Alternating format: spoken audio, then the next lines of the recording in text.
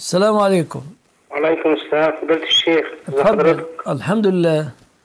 آه، دلوقتي يا شيخنا أنا يعني لما بصلي في في الصلاة يعني في, في قراءة الفاتحة يعني ببقى بطيء شوية.